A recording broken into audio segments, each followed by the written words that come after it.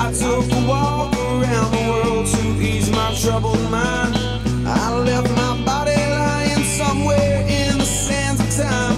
But I watched the world float to the dark side of the moon. I feel there's nothing I can.